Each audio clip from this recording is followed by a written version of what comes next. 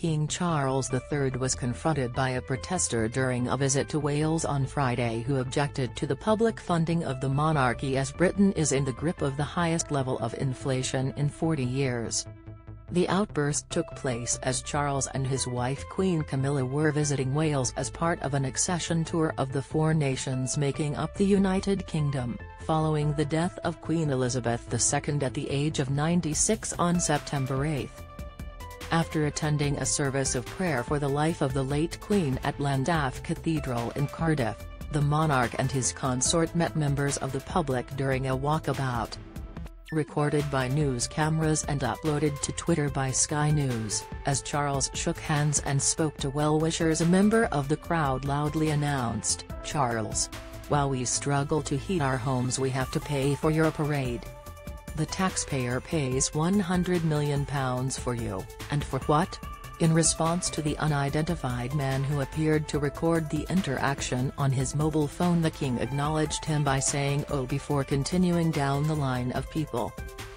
Charles and Camilla were generally well received during their Welsh visit which also included the receiving of official condolences on the death of the Queen during a special session at the Senedd, Welsh Parliament. There were, however, a number of voices against the royal couple's visit including anti-monarchy protesters who booed as they arrived in Cardiff. The unidentified man who raised the point of royal funding with the king did so as discussions about the cost of living grows among concerned Britons.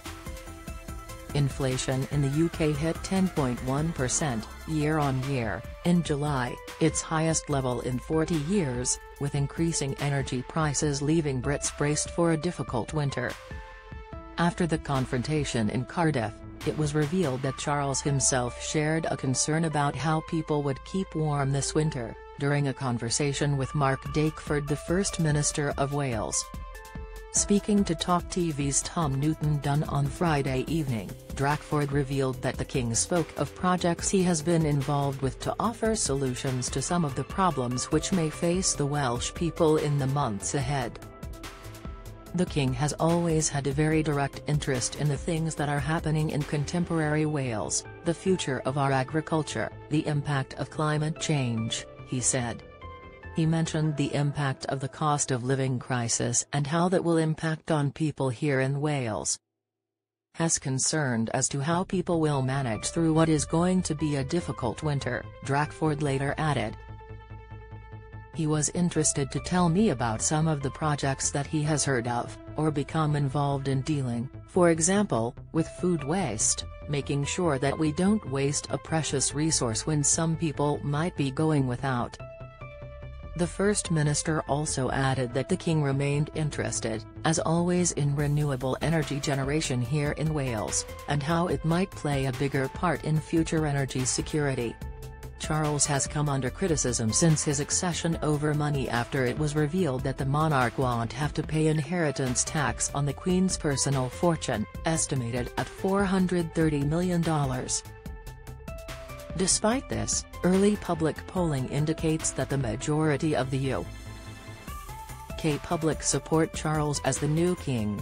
In a survey undertaken in the days following his accession 63% of respondents said that Charles would do a good job as monarch, a figure which has doubled since May where just 32% of respondents answered in the same way. In a speech to mark his accession, the prince said he would follow his mother's example of public service and dedication to the country.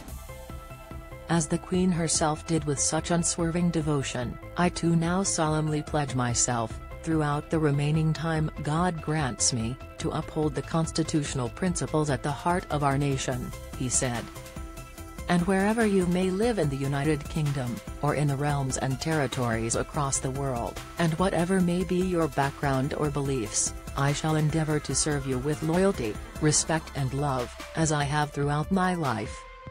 A state funeral for Queen Elizabeth II will be held on Monday, September 19 at Westminster Abbey.